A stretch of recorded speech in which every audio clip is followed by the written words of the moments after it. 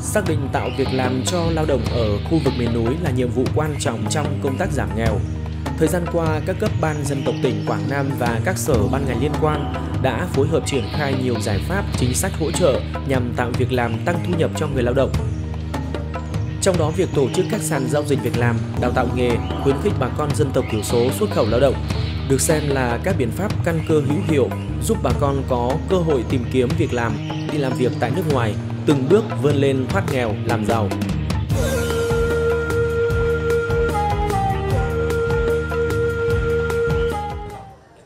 Tại sàn giao dịch việc làm được tổ chức ở huyện Đông Giang mới đây, 16 doanh nghiệp trên địa bàn trong và ngoài tỉnh tham gia tư vấn đã mang đến hàng ngàn vị trí việc làm khác nhau cho bà con cơ tu nơi đây. Nhiều lĩnh vực như nông nghiệp, may mặc, kỹ thuật, cơ khí đã được bà con chú ý và tìm hiểu.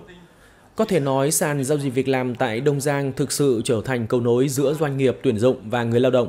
Qua đây, doanh nghiệp tuyên truyền giới thiệu việc làm, cung cấp thông tin về thị trường lao động, mức lương, chính sách hỗ trợ để người lao động tiếp cận, tìm hiểu và tham gia thị trường lao động thuận lợi, đúng luật. Hiện tại thì ờ, trên địa bàn huyện Đông Giang và tỉnh Quảng Nam nói chung thì cái lượng nguồn lao động đi làm việc ở Nhật Bản thì đang phát triển và xu hướng thì ờ, trong năm 2023 vừa qua thì Ờ, công ty đã đưa gần 100 ờ, lao động ở trên địa bàn huyện tỉnh Quảng Nam sang Nhật Bản làm việc.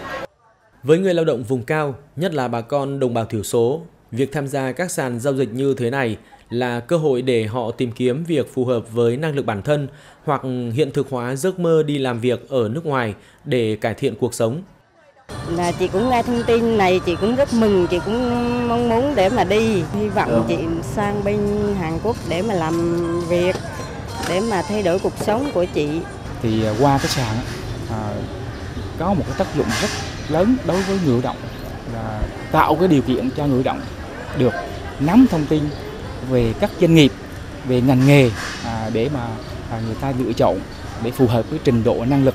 và cái những cái yêu cầu của người lao động trên địa bàn huyện. Không chỉ Đông Giang mà hiện nay nhu cầu tìm kiếm việc làm của bà con miền núi là rất lớn. Vì vậy việc tổ chức các sàn giao dịch việc làm tại các địa phương này không chỉ giúp các doanh nghiệp tuyển dụng được nguồn nhân lực phù hợp với nhu cầu mà còn mở ra cơ hội để giúp cho bà con tìm được việc làm tại các doanh nghiệp uy tín, tránh xa vào các bẫy lừa đảo việc nhẹ lương cao khi tự tìm việc trên mạng xã hội. Từ đó giúp bà con dân tộc thiểu số có nghề, có việc làm và nâng cao thu nhập, ổn định kinh tế, vươn lên thoát nghèo bền vững.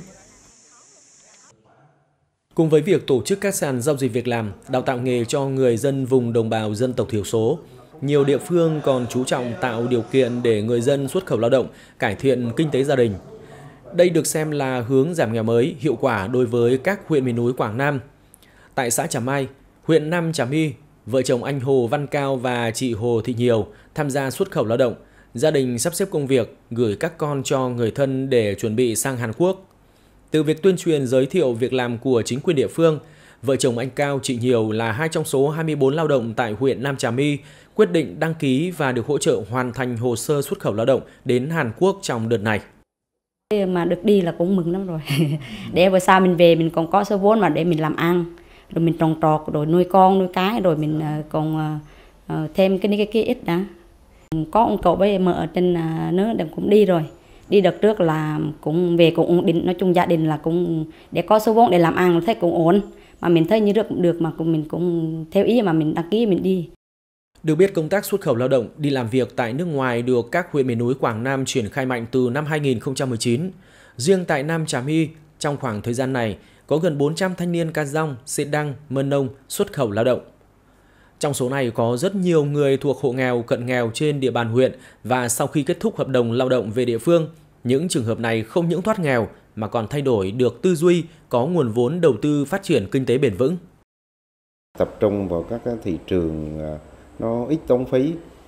tuy là cái thu nhập nó không cao nhưng mà cái khả năng tham gia của người lao động nó nó dễ dàng hơn so với các cái thị trường ờ, như Nhật Bản Hàn Quốc thì nó nó có thu nhập cao nhưng mà cái trở ngại lớn nhất của lao động đó là cái cái học tiếng để tham gia các cái thị trường có cái, cái, cái thu nhập cao.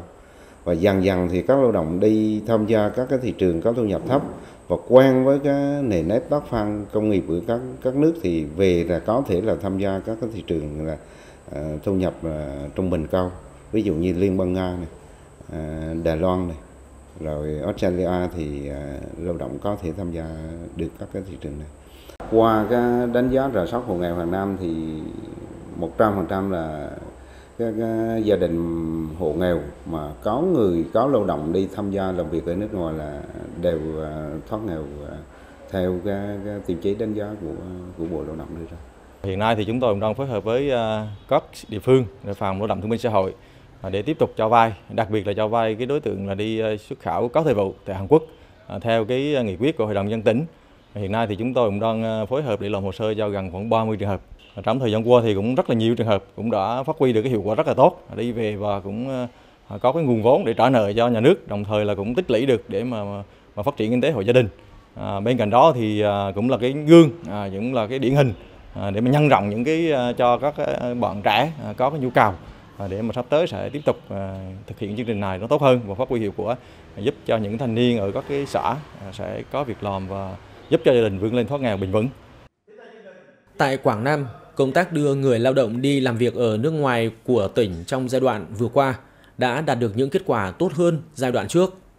Từ năm 2021 đến nay, Quảng Nam đã đưa 3.993 người lao động đi làm việc ở nước ngoài theo hợp đồng, đạt 80% kế hoạch giai đoạn 2021-2025, đưa 5.000 người lao động đi làm việc ở nước ngoài theo hợp đồng. Tỉnh Quảng Nam cũng có nhiều mô hình kết hợp giữa chính quyền, nhà trường, doanh nghiệp khá hiệu quả, được bà con miền núi tin tưởng, yên tâm tham gia đi làm việc ở nước ngoài. Việc hỗ trợ bà con đồng bào thiểu số đi làm việc ở nước ngoài là hướng đi mở ra triển vọng thoát nghèo cho người dân miền núi. Tuy nhiên, công tác hỗ trợ bà con ở các huyện nghèo đi làm việc ở nước ngoài vẫn còn khó khăn. Trong đó, chủ thể quan trọng nhất là bản thân người lao động. Do đa số đồng bào dân tộc thiểu số ở các huyện nghèo có tập quán ngại đi làm ăn xa, kể cả trong nước, Ngoài ra, doanh nghiệp đối tác làm cầu nối cần có sự quan tâm trách nhiệm, đổi mới cách làm, xã hội hóa nhiều hơn để hỗ trợ người nghèo tiếp cận được các chính sách hiệu quả. Các doanh nghiệp mà có chức năng đưa đi động đi lao động đi làm việc nước ngoài thì họ phải tư vấn tuyên truyền thế nào cho đảm bảo đúng theo những gì người ta cam kết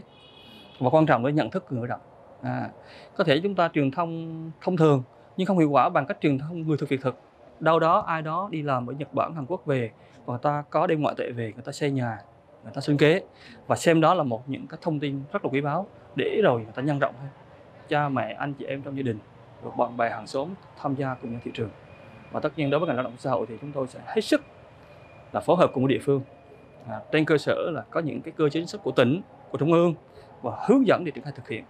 Chẳng hạn như trên thời, thời vụ sắp tới Hàn Quốc thì chắc chắn để mà ký kết cái MOU giữa huyện này của Quảng Nam với quận kia của Hàn Quốc thì chắc chắn phải có quá trình đàm phán rất lâu dài đặc biệt là chế độ chính sách của người lao động mà đảm bảo được pháp luật lao động của Việt Nam và pháp luật của Hàn Quốc.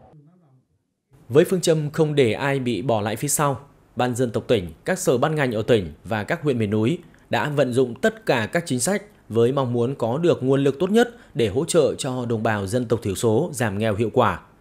Người dân đồng bào thiểu số nằm trong diện hộ nghèo, hộ cận nghèo được vay vốn qua nhiều kênh khác nhau